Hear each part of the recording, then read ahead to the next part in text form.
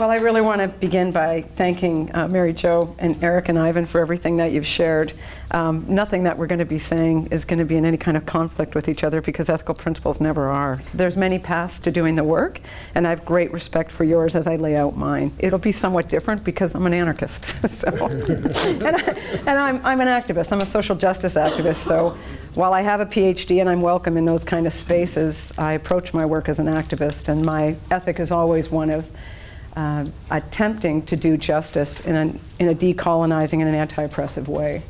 Uh, so my relationship with um, psychology and therapy is, is very strained. Uh, and it's a, it's a partnership that I'm required to be in. I'm going to move your glass or else I'm going to drink from it, bro which probably isn't the worst thing I could do. if I steal a person, I'm Canadian, right? Like stealing water, not good. Stealing beer, uh, you know. Do you want me to move? no, no, no, you're good. I also want to honor the land, and um, it's lovely to be um, in a in a place where that is a practice that happens. That doesn't happen everywhere. Um, and Canada has a very similar uh, colonial, violent, genocidal history uh, that matches the history of New Zealand, Australia, and the United States. So we have a lot in common. So there'll be a lot of points of connection, but I'm also aware I have a very thick accent. Even for Canada, I have this kind of East End of Toronto kind of accent. Um, so if you can't understand me, metaphorically throw a pillow at me or don't hurt me. it's not my first set of teeth, so try not to hit me in the face. and um, but if my accent's a problem, or the other thing is, you know, I, I'm going to be talking from a particular cultural context, and while there's a lot of parallels between um, Australia and Canada, there's very important and significant differences too. So I want to honor that. I am Canadian, which is a very problematic thing to say because politically I don't really hold much truck with uh, nation states. That said, I hold a passport for Canada, and that is a massively privileged thing in this world. Um, wish the Australian government had thought about that a couple of days ago. I had a bit of trouble with my visa. this is not a new experience for me. Um, but uh, when I say that I'm from Canada, I, I, want to acknowledge that I know my boats. I know that my people are, there is no Canada. Canada's, I think, 140 years old. What the hell is that? I work with survivors of torture. I had a Persian man say, honestly, seriously, 135 years of history? You call that history? he said, we have 8,000 years of poetry. Anyway, um, so I think it's really important for everybody who is not um, an Inuit, uh, a Métis, or First Nations person in Canada has to acknowledge what their boat was, how their people got there. My people came from Ireland, England, and Newfoundland. Uh, my grandfather immigrated from Newfoundland before it was a part of Canada. So I am from immigrant and refugee stock um, when people were economic refugees. Now Canada is following Australia's plan to put up walls, and those of us who got our boats here earlier want to make sure no one else gets to get off a boat, particularly people of color are not allowed to get off a boat. I'm one of the people who can pass as a Canadian, but you know, my two of my grandparents were immigrants themselves. Um, but because they're white immigrants, they were their children became Canadians. But my you know closest friends of love, our adopted family who are Iranian and are refugees, their children born in Canada will always be Iranian Canadians. So they'll always be hyphenated Canadians because they're not white. So I just want to acknowledge that I understand the history of my boats and that I work very hard to try to be as accountable as I can around colonization. This is, um, as activists, in particular where I live in the Republic of East Vancouver, um, all of our organizing has to start with accountability to the land. So even though much of my work is with refugees and survivors of torture, my first accountability is to the people of the land. Um, and this is my intention. I'm not saying that I hit this all of the time. I come to this work uh, with the violence of men uh, from as a feminist. And you have to understand that feminism is the F word. Uh, when I talk about queer theory, people get very jazzed. Uh, I participate and belong peripherally to transgender and queer communities, although I'm a very queer passing straight girl. Um, people get really excited about queer theory, radical trans theory, critical disabled theory, critical race studies, all fabulous. And when I tell people, you know, most of this comes from feminism, they go, oh. yeah, I knew she was going to say that. It was all going so good there. then she dropped the F bomb, you know. I'm from Scarborough and I've been known to drop the F bomb, so I continue to throw the word feminism in. Um, it seems to piss people off a lot more than my tattoos. It's kind of interesting. Anyway, I'm going to use the binary of men and women to talk about um, the impacts of men's violence. Uh, but I want you to know that I know the world is not actually that way. There aren't just men and women, because a binary understanding of gender that just talks about men and women disappears and invisibilizes the experiences and lives of people I love who are transgendered and gender variant. So I'm going to use the language of men and women, but I'll probably also include transgendered folks. The people are people with that? Okay. Uh, in, I don't know about Australia, but this is just a kind of good guess that one of the things we do have in common, aside from the fact that people are outrageously excited about the visit of princes, a really rich white guy who's never had to have a job or pay his own rent is here in town. wow. Okay, so the, if he showed up in my hood, we would be tracking him as well, right? Uh, but anyway, so we have these kind of, we have this colonial past and we continue to replicate these, you know, this royalty and stuff while we say that we're holding these kind of other thoughts. But uh, these are the roots of colonization um, and capitalism for me. Uh, but one of the things that's true about Canada is that we live in a rape culture in Canada. And when I say that we live in a rape culture, I'm not trying to be offensive or I'm not trying to be dramatic or I'm not trying to get a response. I'm actually trying to do what Alan Jenkins talks about, but also Alan Wade, a response-based Canadian therapist who works with Linda Coates. And they talk, they've done a fabulous work about the language of violence. And what Alan Wade says was we need to put words to deeds. And that's why I'm using the language of a rape culture. When I say that I live in a rape culture, I'm talking about the intersections of power. This is not just held up by patriarchy which is the rule of men. It's held up by heteropatriarchy, which men are the ruling men, straight men are the ruling men, right? And not just heteropatriarchy, white supremacist men. It's particular men, in particular white supremacist men. And in Canada and in Australia, I would say, people who have access to a passport they don't even know is one of the most precious things on the planet. They take that privilege as a God given right, um, as well as a capitalist informed patriarchy. And when I'm talking about capitalism, we cannot, especially in Canada, I'm sure Australia's in the same boat. Right now, we are having the rape of Mother Earth in Canada on a scale that is one of the biggest global disasters that has ever happened, which is the tar sands of the province of Alberta. We have re reorganized everything around this. We've gotten rid of environmental protections. That's part of a rape culture right? So we need to rape the earth for capitalism. This is all held up. So when I'm talking about patriarchy, I'm talking about heteropatriarchy, white supremacy, and capitalism, and the rape of Mother Earth. And I, am sure, you know, it's, it's always complicated, and that's, who, that's what we're up against. Um, is this going okay? I'm just shaking because I'm so moved by your talk. So I'm going to be shaky the whole time. That's just how, that's how I roll, man. I'm going to shake. Um, when I talk about a rape culture, Canadian statistics, Statistics Canada, the last time we asked statistics about uh, sexualized violence in Canada was 1993, and the numbers were so appalling that the government quit funding research into the rape of women, frankly. And then they accuse the girls of using bad numbers. Vikki, your numbers are so old. It's 1993. It's like, well, babe, that's a lot. That's when you cut the funding so that we can't do any more research. At that time, what came forward is one in three women in Canada is raped in their lifetime.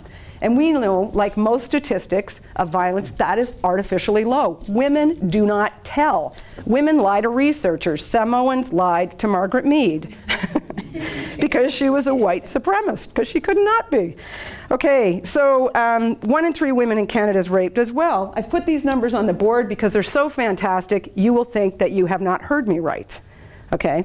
And despite the fact that Barbie, Talking Barbie says, math is too difficult. Girls actually understand numbers. we do. And here's the numbers that we understand the most, right?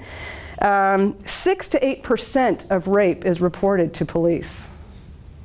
And I think that's an artificially high number.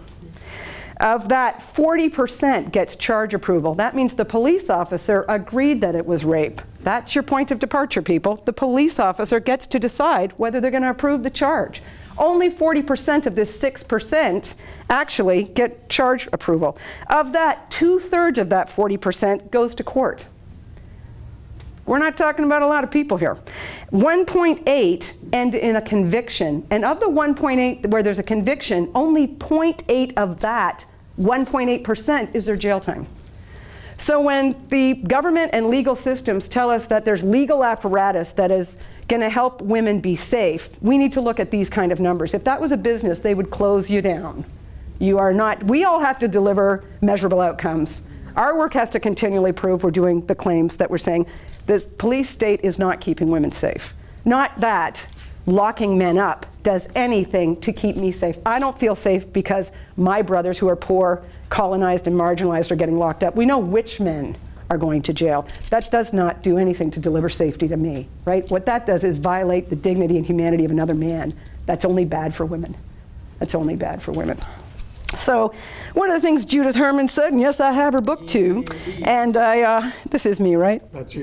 Thank one of the things Judith Herman says, there's a lot of things I don't like about Judith Herman, what she says. Judith is great as a person. I'm just saying, one of the things she says is she blames clients for infecting us with their hopelessness. I'm like, Judy, I don't think our clients hurt us. I think social structures of inequity and injustice hurt us. Our clients are not the ones that hurt us. But she lays out a fabulous framework for working with trauma without which I could not work. So I really do honor her work. We're all, we all have to be up for a critique, though. What she says that I like, too, though, Sexual assault is so prevalent that you actually cannot consider it deviant behavior. It's compliant behavior. When you have rape and sexualized assault on such a massive level, men who participate in it are not deviant, they're compliant. And that is absolutely terrifying to me. Okay, Wade and Coates, I talked about earlier, have these kind of understandings of language that uh, I have used in the realm of how we understand how language has been used to promote a rape culture. Okay? Well, here's the ways that language works. This is this square here on the board, people. I knew I wouldn't be able to write, shake, and talk. Or spell. My spelling's bad anyway, but uh, I was forgiven for that all week. Thank you very much, Maria. Um, so here's the four operations of language, or how language assists in promoting a rape culture. It obscures violence, hides the perpetrator's responsibility, hides the victim's resistance, and blames the victims. Police forces spend all kinds of money telling women how not to get raped. Have you been informed by the police on how not to be raped? Did you find it useful? Uh, one of the campaigns, and there are many of them, I want to know how many millions of dollars have gone into this. This is the money that's not going to rape crisis centers, right? This is money that's going to, the police system for them to tell women how to not get raped. One of them came from Scotland, and the title of this 10 point information poster was Be Smart. You want to be smart. So, what that means is if you get raped, you're stupid. You want to be smart. Oh, what was I thinking? I should have been smart yesterday. Wish, wow, I wish I'd had seen that poster first. Could have sharpened up the IQ. Um, the second thing on that is say no. Say no to any sex you don't want. What has that got to do with rape? Rape and sex are in entirely different domains. One is in a consensual, intimate domain. One is an act of violence, where one person is a perpetrator and acts upon another person because they have the power to do so. These are not, I'm not a conspiracy theorist, people. Honest to God, I'm not. Um, but these are not accidental campaigns. Every police force in the world seems to have one, and they've all paid millions of dollars for them. This is not loose language. When you are told to say no to any sex you don't want by the police, in a poster against rape, you know that they cannot tell the difference between sex and rape. And the project of feminism over the last 4,000 years has been trying to differentiate rape from sex. We thought we kind of had a handle on it starting about 1975. And this is propaganda, absolute propaganda, to conflate rape and sex back together. And who's really reading this that I'm worried about are cops. Because look at that charge charge approval that comes from the cops. If the cops don't understand the difference between sex and rape, and they're the ones who get to decide if this is going to be a charge, that's why the system's not delivering. That's one of the reasons the system's not delivering something. Although I think we would all agree that the justice system it cannot deliver safety from rape for men, women, trans people, or children. Right? Okay, we're not looking to the justice system. We're going to look to society.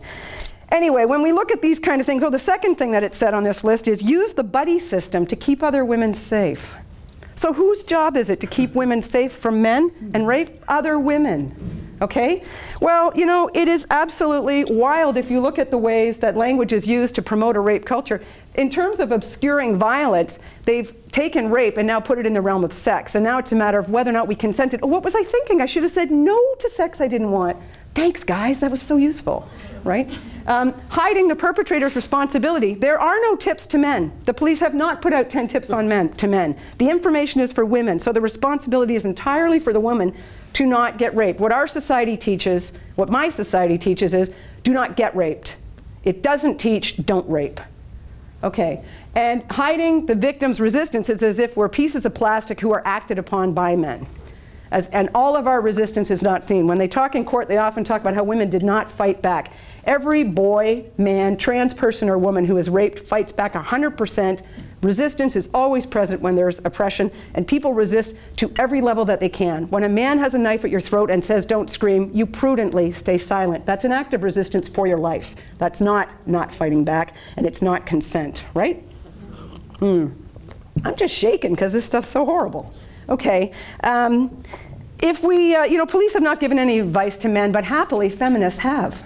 So you can Google this and you'll see some good stuff. But there's some posters made by women's activist groups and some good accountable men as well and trans folks um, who are giving some advice to men. And, here, and here's the first thing it has. They have 10 points too. And the first point is, if you stop to help a woman and her car's broken down, don't rape her. Perfect, hey? And the second one that I really like, because men were holding up these signs during slutwalk protests. We had a lot of really good accountable men and trans men and transgendered folks who were walking alongside feminists um, contesting these ideas from the cops. And one guy, I took a picture of a man with a sign that says, use the buddy system.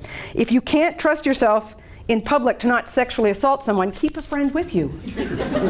now, this seems ludicrous and patronizing and really an attack on the honorable culture of men. We, this is not real. You could not, women do not tell men how to act. It's, you know, but the cops saying exactly the same things to women somehow flies, right? So I'm not, I'm, you know. Um, okay. You know, feminists are not the only one. Uh, feminists are not the people who think that all men are rapists. That is not what I think as a feminist. Do you know who thinks that all men are rapists? Rapists believe that all men are rapists. And when people did research in jails of men who are convicted of rape, and we're talking about very few men, the men, uh, Eric, I think you would put on the other side of the room, whether or not who, they thought, they, they would say all men are rapists. All men are rapists. I just got caught, and other guys are just lying about it, and women love it. And, they, and what's their evidence for this? Is rape jokes. And what is wrong with rape jokes is not that they're not funny. What's wrong with rape jokes is that it promotes a rape culture. And what rapists almost consistently said is when rape is joked about, which it always is when men are alone, and you girls wouldn't know that, um, other men never intercede and all men laugh because all men are raping women. It's what we do, it's biological, boys will be boys. So that's what's wrong with rape jokes. And isn't it interesting to see, you know, women are often, especially feminists, are attacked as saying they're, we're man haters and we think all men are rapists. The people who really believe that all men are rapists are rapists, are men who commit rape. Um, okay. Okay. Um, now, look, I'm going to talk a little bit about what makes it possible for me to work with men who have used violence. For me, I have to say, I love men. I love men. And I come from an extended, fabulous family with really good, accountable men. I have a lot of brothers, cousin brothers. My father's a good man. I have uncles, grandfathers. So I have had a massive privilege of seeing not perfect men, but good men, and men who hold each other to account, and men who've made amends. My brothers are fabulous fathers. My nephews are really good men. And this amplifies my hope. Just as your talk, I told you, like, it just amplifies my hope that men can be accountable. I believe in the, cultural of account, the culture of accountable men. That's actually at the heart of my work. Without that, I don't think I could effectively work with men. I don't think I could work with men in an ethical way. I think I would do harm, and I think I would oppress men. If I didn't believe in the culture of accountable men, I think I would abuse my power as a therapist, and I think I would, you know, replicate some dominance over men, uh, which is extremely possible. When you're the therapist, you're holding a lot of power. So we have to have that kind of analysis. So I really believe in the culture of accountable men. I'm also an activist, and as an activist, uh, I hold an anti colonial and an anti oppressive stance. So my aim is to never replicate oppression. Uh, so with this man I'm meeting with, I don't want to oppress him, um, especially when I'm meeting with Aboriginal men, poor men, and men who don't have shelter. These are most of the men that I work with. I hold huge places of privilege and so if we organize our work just that I'm a woman and you're a man and we're meeting around men's violence, then that client, that man, has to be accountable to me. But the reality is that there's an intersection of power going on here. I'm housed.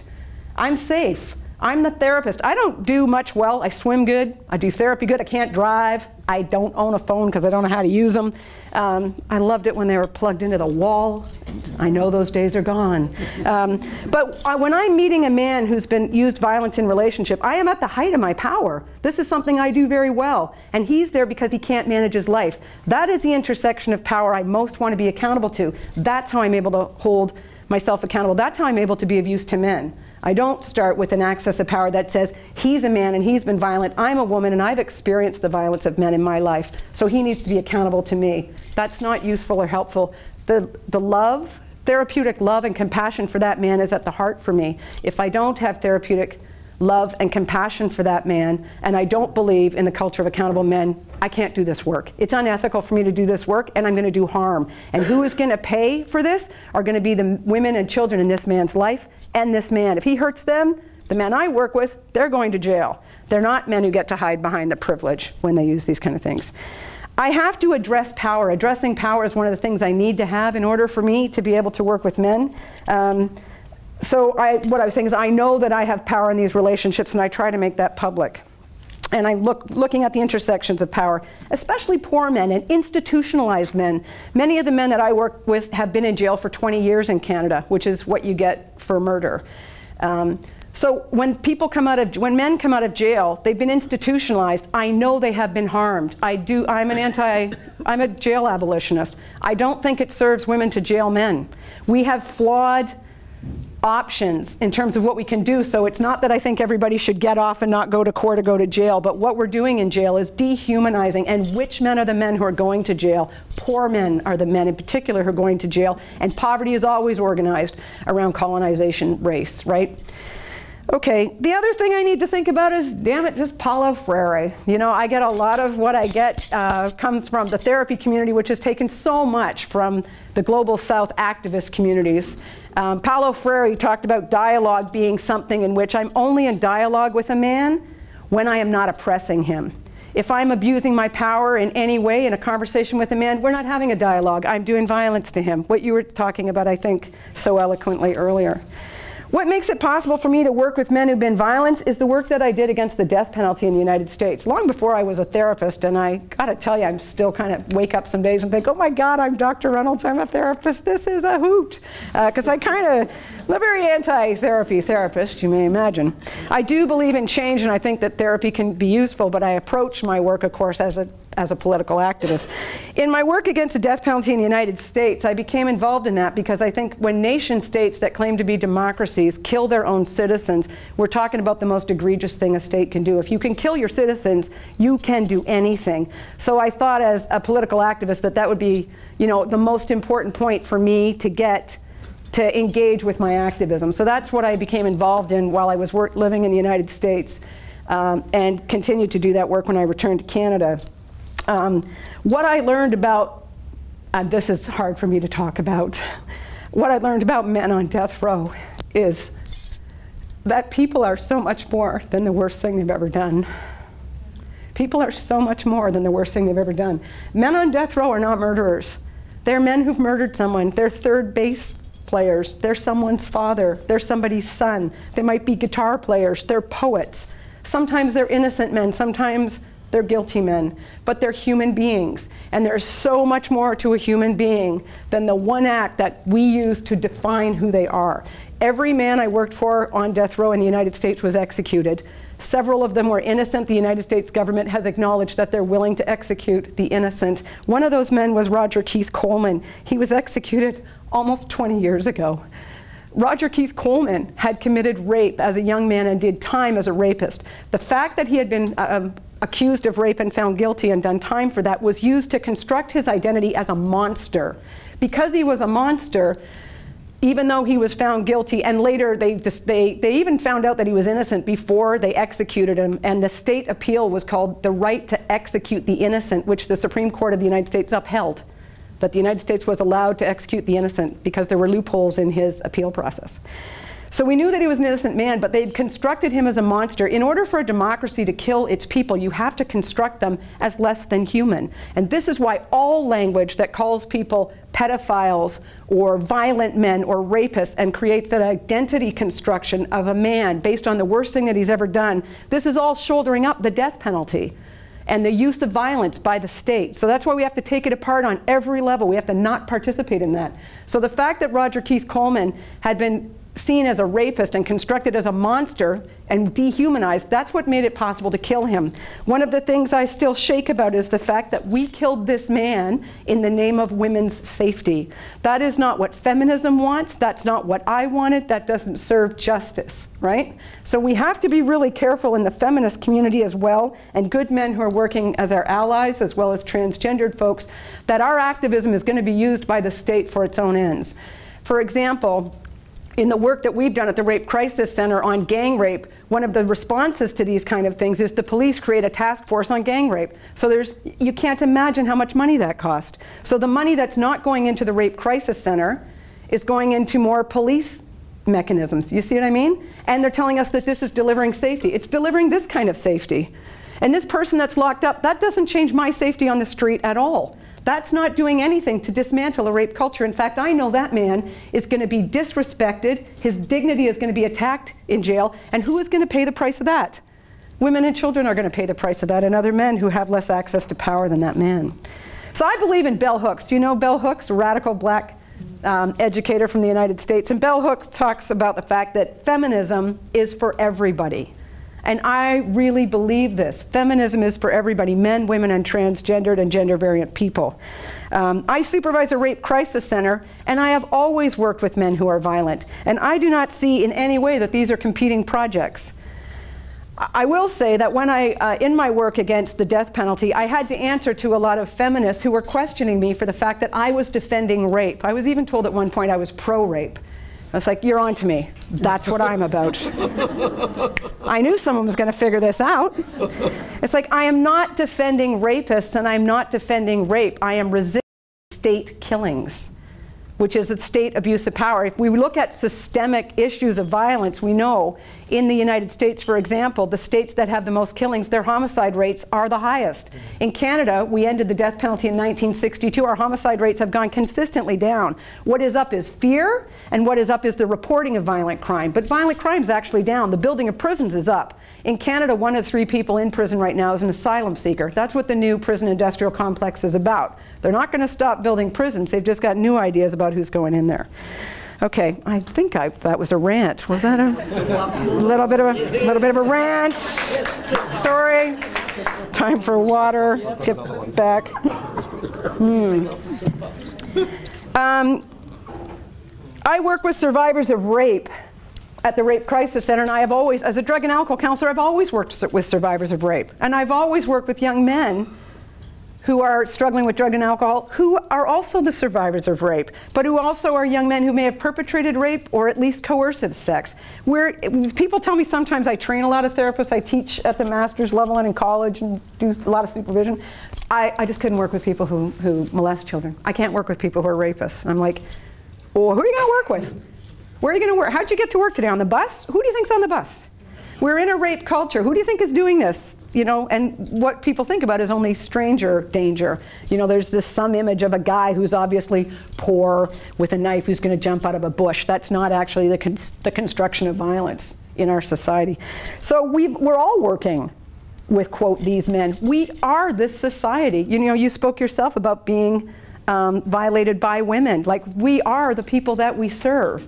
This is our society. This is our this is our role to do. So for me, there's never been there's never been an ethical tension between supervising a rape crisis center and working with men who've perpetrated violence against women and children. It's the same, it is the same work. The work, the goal is to dismantle a rape culture. The goal is to have a society where everybody is safe. Um, and I hold the survivors of rape very close to me and I bring them in the room with me, metaphorically, when I work with men. So that in the whole time that I have a conversation with the men, I'm sitting there wondering, what is Julie making of my conversation right now? How am I honoring and dignifying Julie in my efforts to dignify Joe? Because you know what? We can hold those things in attention. It's not either or. It's going to serve all of us to dismantle a rape culture. So that's why I do this. I use the language of perpetrator and victim in very particular ways. I don't want to give up that language because I think it's very important in particular events to be able to name who did what to whom. Um, see, I used whom. yeah, I know. I have a degree in English. It's just it's my only language, and I'm kind of messy with it. Um, but um, so I use the words of perpetrator and victim, but I don't mean them as identity constructions. This person is not a perpetrator. In this event, they perpetrated the violence. This woman is not a victim. In this event, she was the, the victim of this violence. Okay, so they're not identity constructions.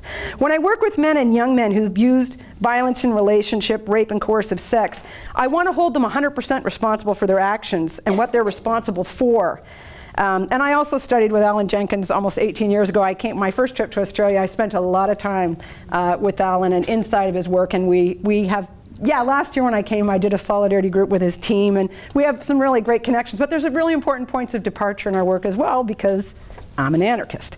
Um, so I want to hold men 100% responsible for their actions, but that is within a particular political context. And when we're talking about patriarchy, misogyny, which is the hate of women, and a rape culture that's held up by heteropatriarchy, white supremacy, and capitalism, and environmental, environmental violence, that man is responsible for his actions, but he is not responsible for being brought into that context. Our boys are being raised in a rape culture, and then we're individually holding them responsible as if they invented misogyny. They didn't invent misogyny, they're swimming in it. I think about this about myself and my position about racism and colonization. I will not say that I'm a non-racist person. I'd love to say that, but you know, it would just be a truth claim I couldn't back up with facts. I grew up in a very racist society, in a very racist culture. I'm white-skinned person of settler culture in a, in a territory uh, that was stolen from indigenous folks, meaning First Nations people, Métis people, and Inuit people. And the way that that was taken was genocide. So the territory is saturated in the blood of Indigenous people in Canada, for which there's been no accountability. How can you, be non, how can you make a claim to be non-racist in this territory?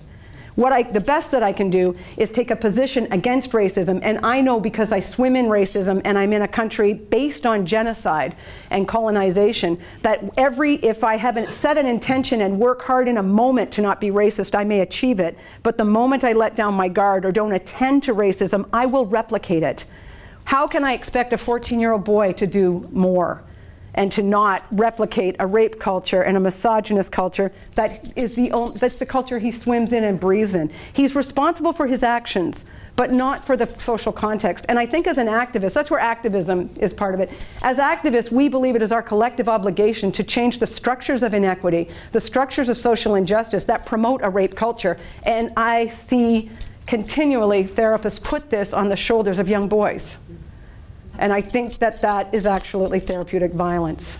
And it doesn't serve that young man. And it then, if we don't serve this young man who's willing to talk to us, women and children are going to pay forever for that. And he is going to suffer. All of our suffering is connected, as is all our liberation, right? Our paths to liberation are, are connected with each other. So I, while I want to hold people 100% responsible for what they do, I don't want, they are not responsible for the social context. Um, and the other thing is when I work with men who've been violent and young boys who've been sexually coercive, for example, um, I don't begin with their accountability for violence. I ask them where they learned about violence. You know I've never met a man who invented violence? Every man I've ever worked with eh, was the victim of violence first. They experienced violence on the body. That's how they were, that's how they were trained up in the ideas of violence. And so we have to start here first. Um, I was the supervisor of the Center for Survivors of Torture. And you know, when survivors of torture, because they're men like any other man, when they hit their wives, the police come. And the police do take them away, and they lose their asylum status. The response is amazing. Women of color, refugee women and migrant women and asylum seeking women came to me and said, You're white and you know how to talk in your language in a way that gets listened to. We need you to talk to police about the fact that they have to understand that men who are the victims of political violence and torture are not just beating their wives. They're having a flashback, and then the neighbor phones. These are not women who would ever phone the police. They do not expect the police to be protecting them. It is a real site of privilege to think that if you call the police, their first interest is your safety. Many people never have that privilege, in particular, poor people, people of color, and asylum seekers. These women would never call the cops, but their neighbors hear a fight and they call the cops. What's been happening is a flashback, or he's reenacting um, you know, he's having a psychological experience based on the political violence he has suffered or the torture he has suffered, and the police see it as a domestic violence situation, which it is and isn't. It's just more complicated than that. He gets charged, he loses his status, everybody loses in these situations.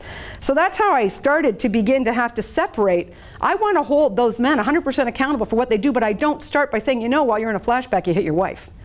I don't start like that. I start back here. We have to find a space of dignity and honor for this man and the violence that he experienced and suffered, and how that is part of what's going on in his choices of his behavior to hit his wife. And for that, he's 100% responsible. Um, oh, is this going okay? Okay, thanks. It's um, it's really important uh, that all men who've used violence are held accountable um, for the women and children who are the victims of their violence. And what's required for this is good clinical supervision from women and accountability to women. I haven't, I haven't worked with anybody who wanted to hurt their children. When I, when I talk with men, I always ask them about when they found out they're going to be fathers. I'm not a parent, so I'm nuts about parents. It's like a whole world of people I just don't know. So I get kind of, you know, excited. I exoticize parents. I think it's fabulous. I'm like, how, wow, what was that like when you found out you were going to be a dad? And I asked them if, you know, it's a fabulous, loving, moving, connecting conversation. And then they're like, really? You don't have kids? Wild. You seem like such a decent, together, normal person. but you're obviously missing the boat because it was the greatest thing that ever happened to me. And then I asked them if somebody had told you at that time that when that child is four, you're going to rape that child, what would you have thought of that? And it's usually a very shaming and an, an enabling shame, as Alan Jenkins would say. It's a very shaming moment. Shame, and this is from Allan Wade, shame speaks to a knowing of right and wrong. That presence of shame speaks to the fact that this is not in line with this person's ethics, and they know that this is wrong.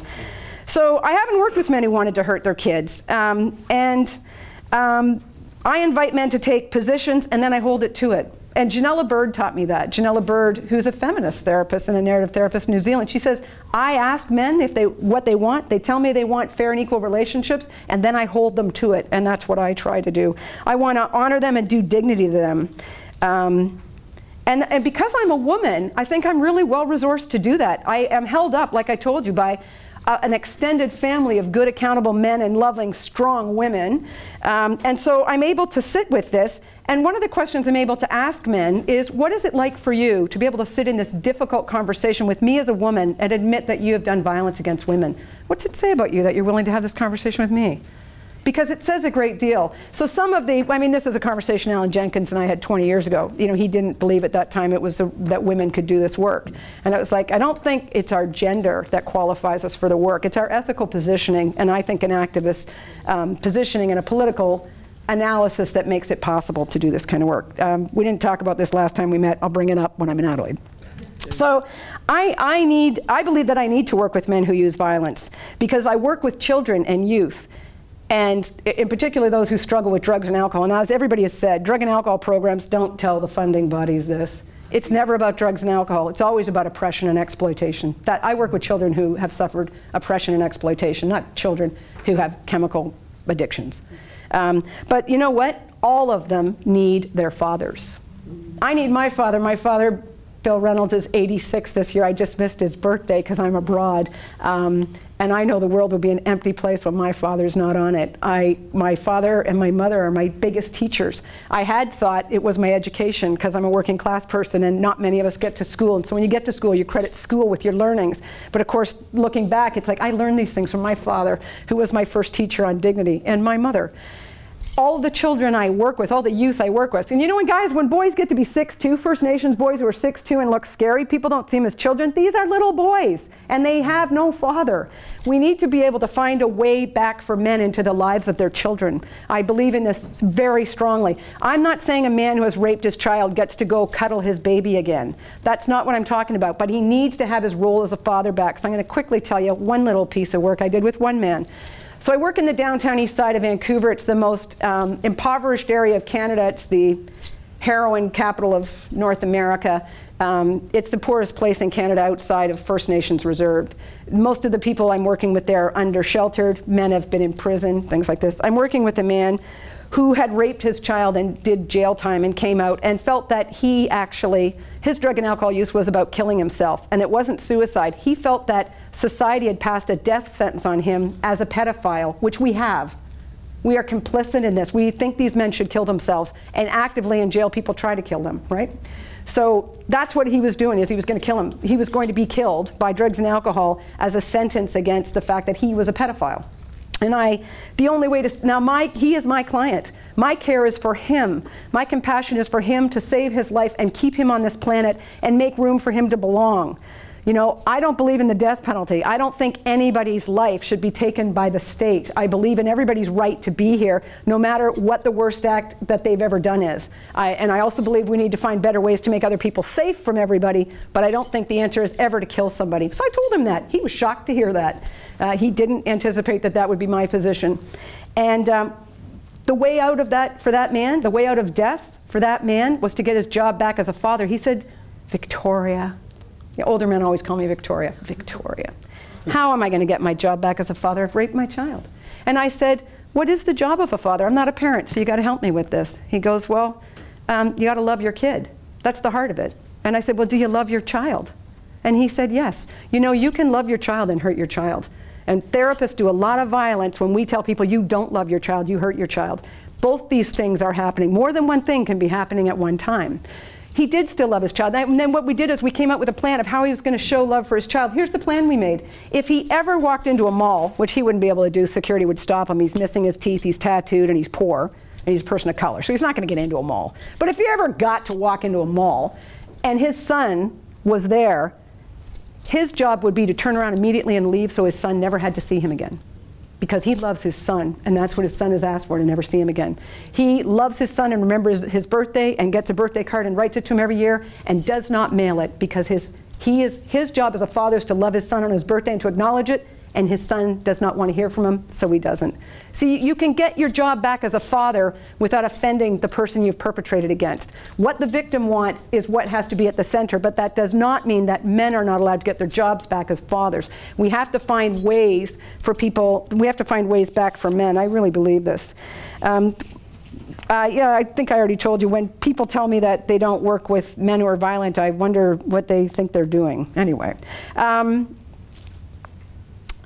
I think also, I just want to say also, I think men can be fabulous therapists to women who've experienced men's violence.